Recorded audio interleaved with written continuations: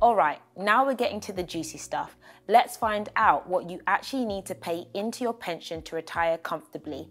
And if you stick around, we'll even find out how you could retire with a £1 million pension. First, let's start with a couple of basic concepts. The earlier you start paying into a pension, the better. And there's no doubt about it. And that's because of something called compounding returns. Now, don't be put off by the financial lingo. Compounding returns is your friend. Let's look at an example. So, say you put £100 into your pension and that grows by 5% in a year. Now your £100 is worth £105. Now imagine that grows by 5% a year again. Now it's worth £110.25. Notice how it grew by £5 in the first year and £5.25 in the second. Every year, assuming it grows at the same rate, it will actually grow in an increasing amount in real money terms. So after 15 years, it would grow by £10 a year, and after 30 years, it would grow by £20 a year. If you simply paid £100 when you were 20 and it grew by 5% a year, it could be worth around £900 by the time you're 65 at least before fees are taken into account. But either way, compounding returns can help grow your pension more and more over time.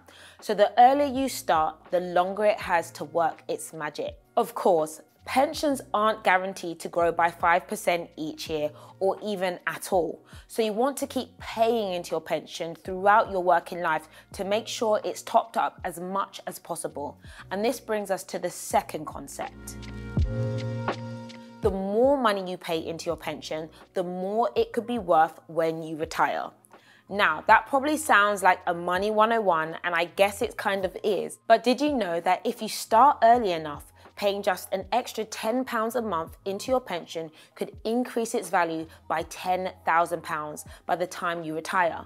And paying an extra £50 could increase its value by £50,000. So if you get a pay rise or come into a bit of money, consider increasing your pension contributions because even small increases could pay off in a big way when you really need it later in life. So start your pensions early and contribute as much as you can comfortably afford. Those are the basic principles of saving for a happy retirement. Now, let's get into the numbers. If you're like me, you might be imagining retirement as a time to kick back with your friends, travel a bit, and spend more time with your family. But what does that kind of lifestyle actually cost? Well, according to research carried out by Which, it costs the average retired couple about £26,000 a year, and for single people, it's about £19,000 a year. Now, if you have a Play with PensionBee's pension calculator like I have, you'll see that if you and your employer contribute £150 a month from the age of 20, your pension could help you retire at 67 and afford a comfortable lifestyle until you're 82.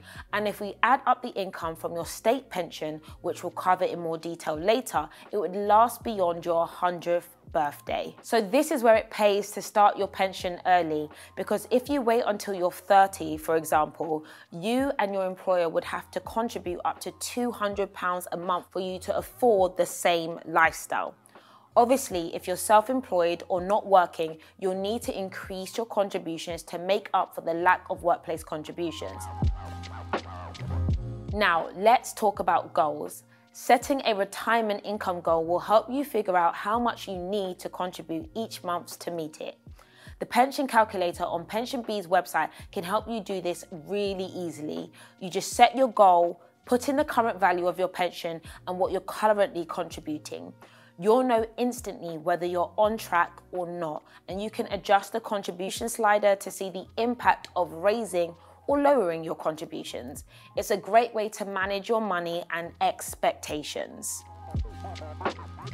Lastly, I did say we'd talk about that £1 million pension, so let's see what it takes.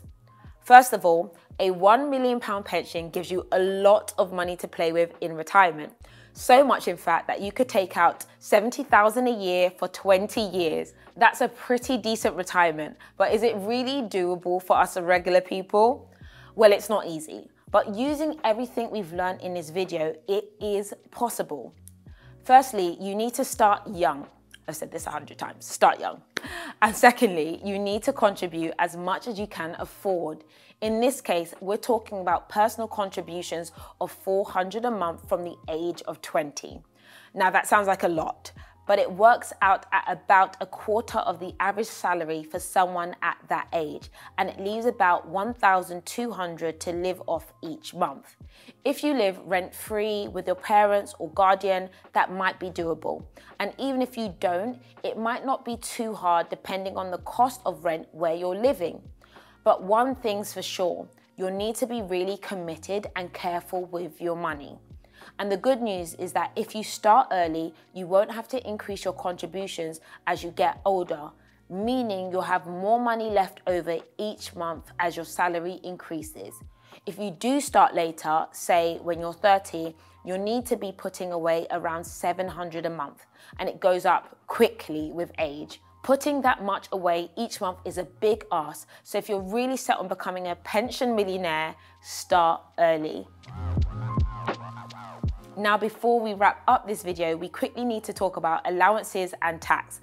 Yeah, I know, everyone's favorite topic, but stay with me. So each year, you can receive up to this much in pension contributions without being taxed, and the government will top up any contributions you make to the equivalent of your annual earnings. Okay, let's recap. One, the earlier you start paying into the pension, the better, thanks to compounding returns. Two, the more money you pay into your pension, the better.